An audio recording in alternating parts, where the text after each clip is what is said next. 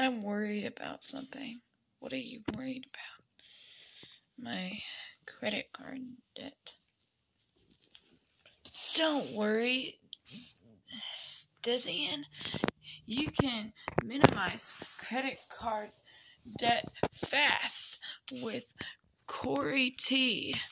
Credit card debt minimizer. Whoa, I can't. I can minimize credit card debt and I can